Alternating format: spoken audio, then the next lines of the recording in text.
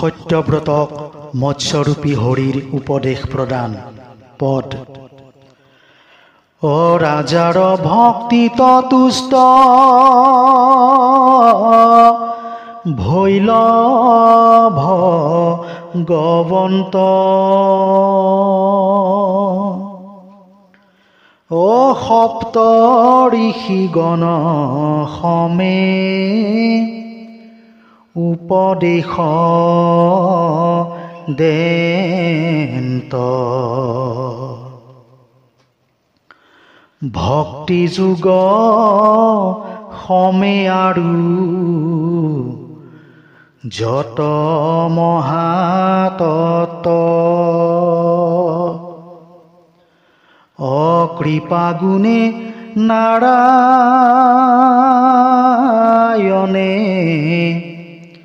কৰিলা বে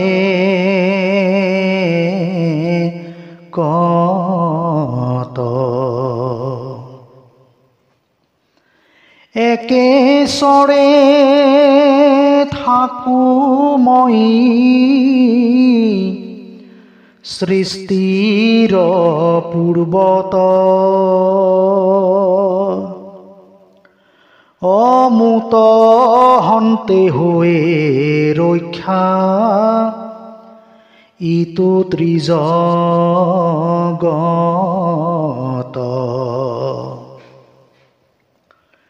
অকালৰূপ ধৰি মই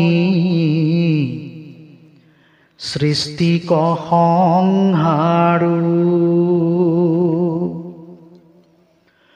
অনিজ মায়া বলে পুনু। ভিন্ন সৃষ্টি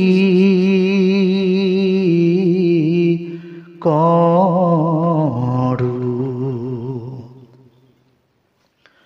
মুহূৰ্ত প্ৰকাশী থাকে ব্ৰহ্মাণ্ড যতে ক। অ ব্ৰহ্মাণ্ডৰ মধ্যে মই প্ৰকাশো প্ৰতেক মোৰ ভক্ত বিনেইতো আনে ন জানই। অজানি যত্নে লয়ো ৰাজা মোহতে আশ্ৰয় অযত নামৰ ৰূপ মাত্ৰ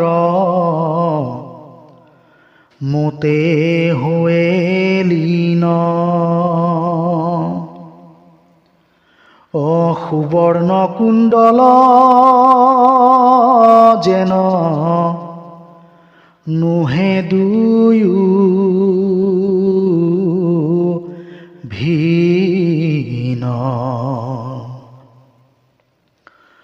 কুণ্ডল ভাঙ্গিলে শুন। থাকে অৱশেষ। অজানি অন্য এৰি দেখা। শুন কবি শেষ। অহি তত্ত অভ্যাসিবা। সাধুৰ সংগত।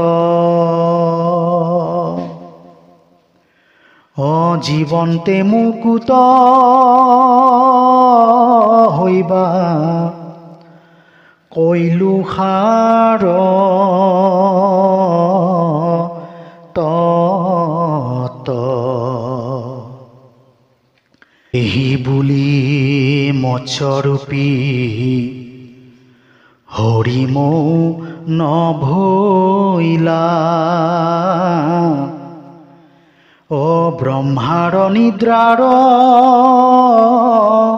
কাল অৱসান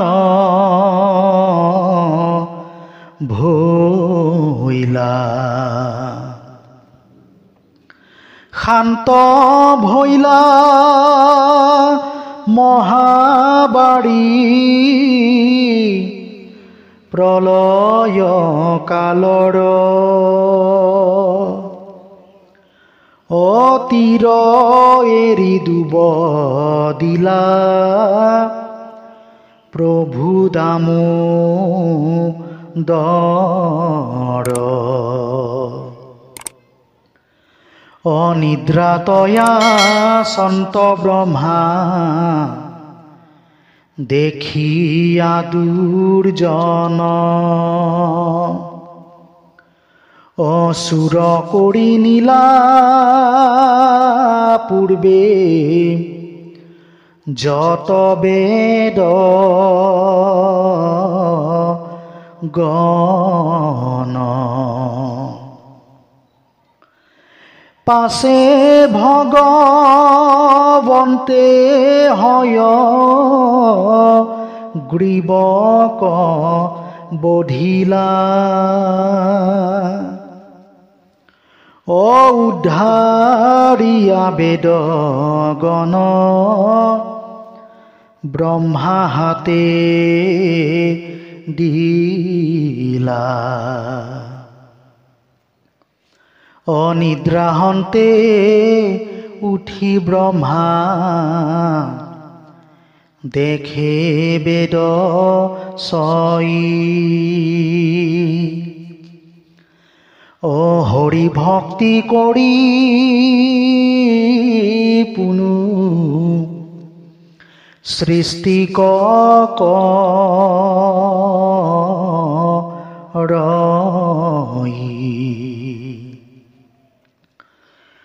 তৰি মধ্যে আছিলে ক।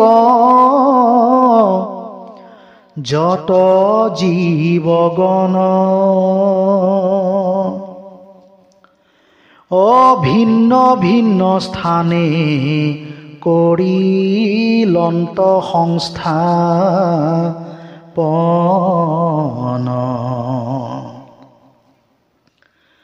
অ এহি মানে মৎস্যব তাৰ কথা গৈলা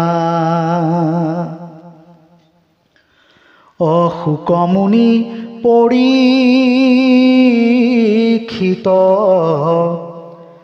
ৰাজাত হিলা।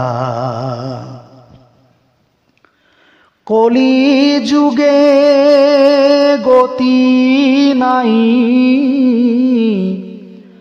হৰি নাম বিনে অসত্তৰে ভজিও কৃষ্ণ গুৰু ৰচৰণে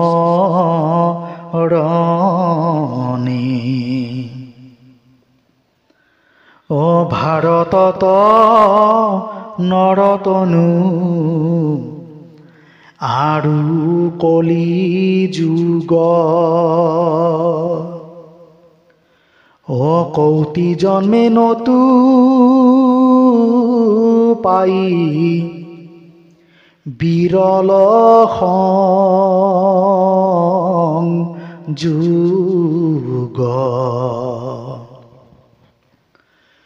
তৈতে যেবে হৰি নাম অয়াসী যুগ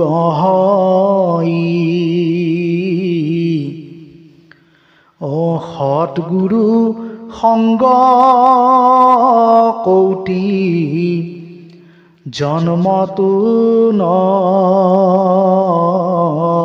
পাই।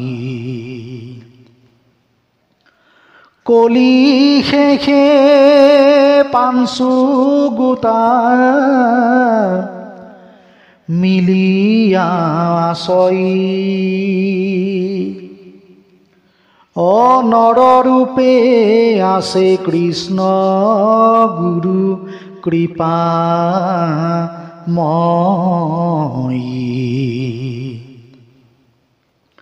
অ একখন বিলম্বন কৰা কেহু ভাই।